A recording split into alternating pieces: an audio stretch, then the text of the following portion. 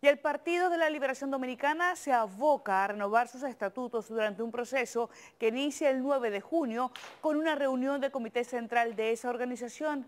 Julia Flores con más detalles. El Comité Político del Partido de la Liberación Dominicana se reunió este lunes y, entre otras cosas, acordó convocar al Comité Central de esa organización.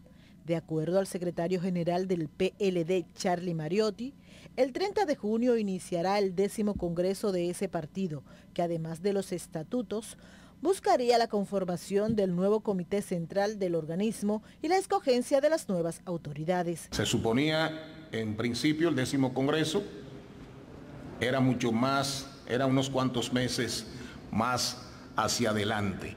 Se adelanta el décimo congreso todavía por designar.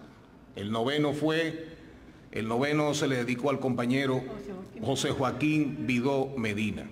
Sin embargo, Mariotti dejó claro que ni él ni el expresidente Danilo Medina aspirarán a cargos dentro del Partido Morado.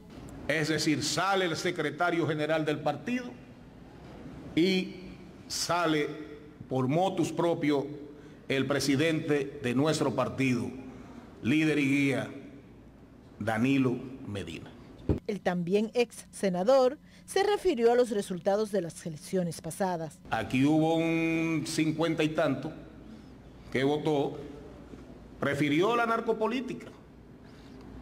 Y a muchos, a muchos cuestionados y que están en expedientes, pero el 47% se abstuvo. En su reunión de este lunes, el Comité Político del Partido de la Liberación Dominicana también analizó la carta de renuncia de ese estamento del senador de Barahona, José del Castillo Sabiñón. Julia Flores, Noticias Telemicro.